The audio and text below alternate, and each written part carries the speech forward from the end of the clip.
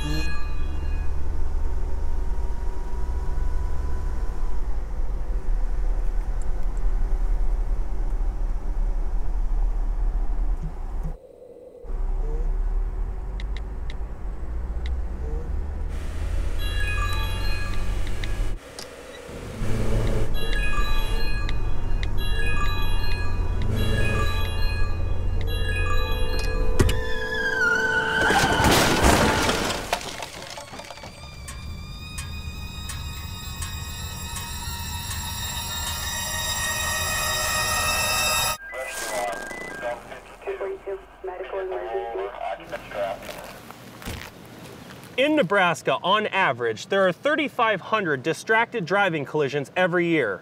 Over the past four years, that has resulted in 174 deaths and over 14,000 injuries on Nebraska's roads, all because a driver was distracted.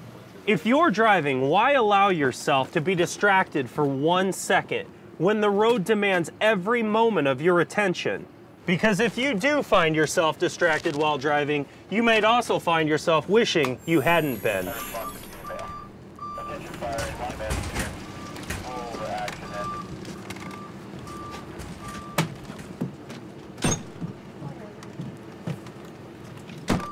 For the safety of yourself and others, don't text and drive. Limit the use of cell phones to emergencies only. But why am I telling you this? You wouldn't be the one responsible for causing an accident like this.